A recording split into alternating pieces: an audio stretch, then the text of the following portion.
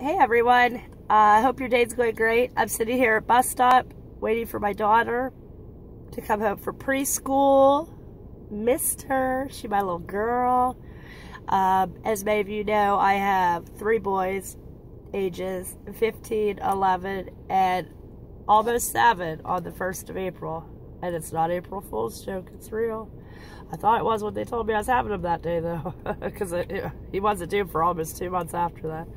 He's doing fine, no issues at all. He just had to have tubes in his ears. That was the only complication he had with being almost two months early and premature, thankfully. His birth weight was almost six pounds, so he was very small compared to my eight, nine, and up pound other children, but he's good to go.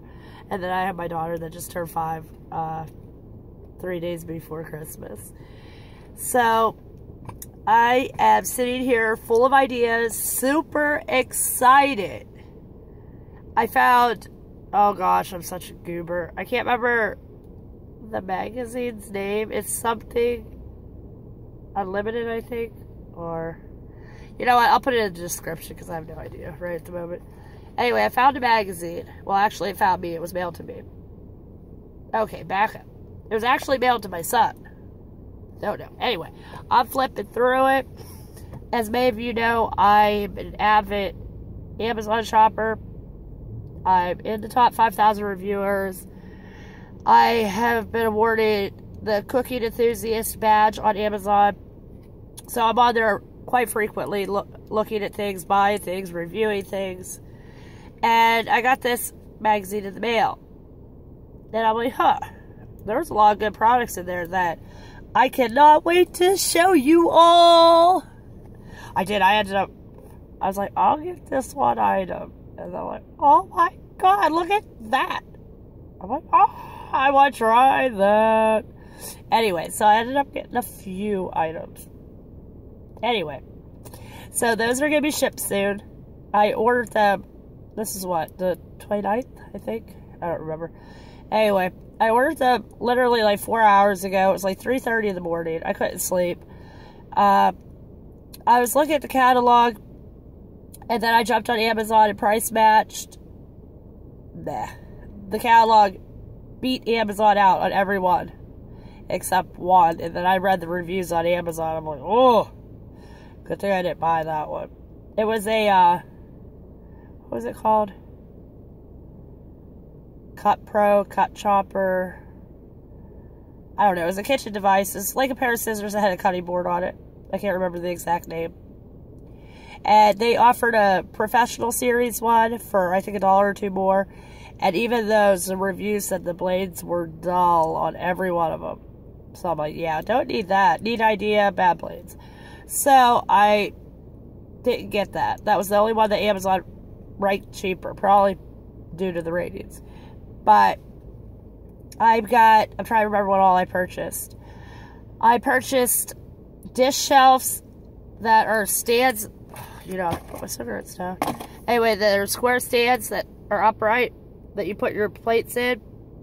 I thought I'd try that out on my like lower cabinets for my kids, like my five and six year old. Oh gosh, he's about to be seven. Anyway, so that way they don't have to use a chair or a stool to get into the cupboard or, you know, get somebody to get them for them. They're, they're very independent. They like to do things themselves. So I thought that would help with them. and also help my 11 year old son to be able to put dishes away. He's not real big or good about washing them, so that's between me and my oldest. But I'm to have him start putting them away. And I like the design of it. I believe there were $7.98, $8, and you got four. And it looked like they'd hold eight big plates in each of them, if I looked at it correctly. And then they had the small set or the smaller ones for I think like little saucers and small plates. And I believe that was $5.98. I'm just trying to pull this from memory. So I ended up getting one of each. If I need to get more, I'll get more. Um, I got something that I'm so excited about. I was going to get last year, but I didn't get it because I'm like, ah, I couldn't bring myself to spend 40 50 $60 on it. Which isn't much. But I wasn't all set up and ready for it. This year I am. I bought two of the large circular raised outside planting beds.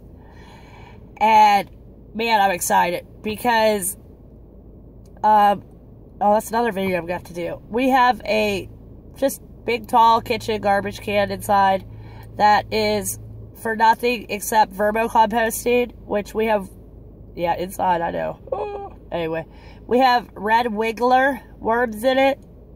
And then we throw our food scraps in there. It had dirt and paper and, you know, shredded up newspaper.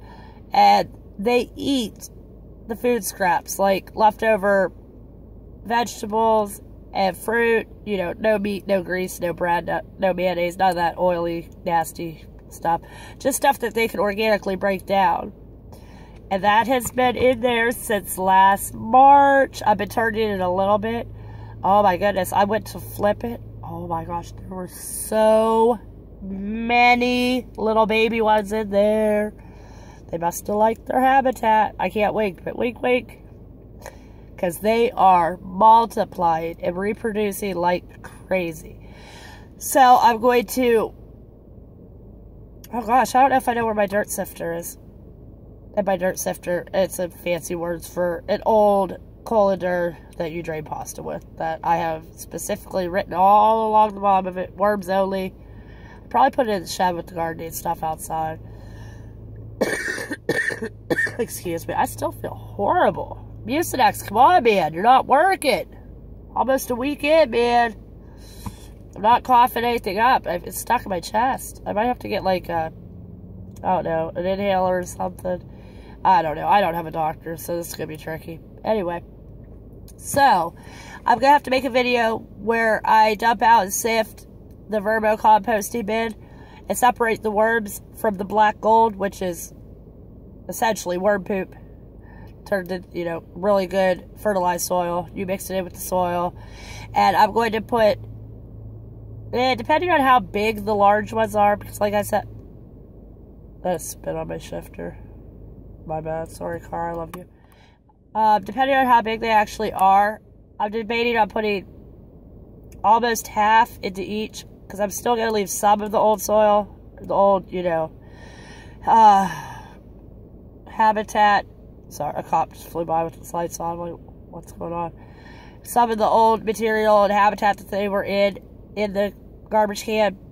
And then I'm going to add in new material, you know, more newspaper, more dirt, leaves from outside.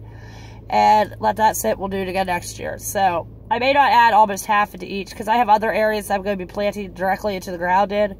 So we'll, we'll see how much it is and how it goes. But that's definitely going to be a video I make. And I'm going to be excited to use the um, planters that I bought. The raised gardening circular beds. So that's going to be awesome. Oh, I also got the, what was, oh gosh, I'm so bad with names. The red copper 5-in-1 cooking pan. It fries, it goes into the oven, it sautés. It's an as seen on TV product.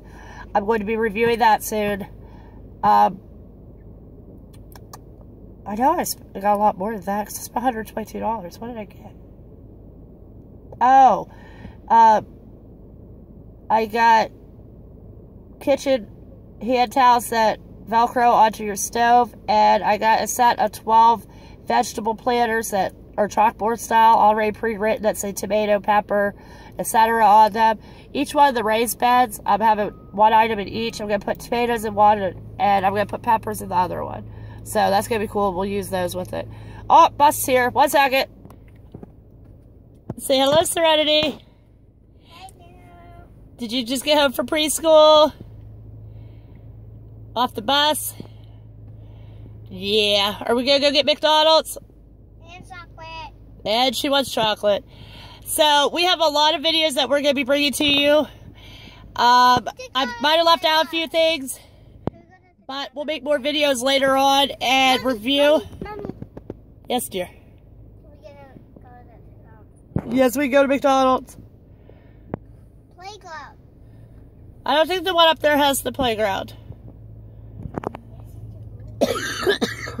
Oh, Bobby still don't feel good. She coughing. How you feel? Are you feeling better? Good. All right. Can you tell our RTG viewers bye?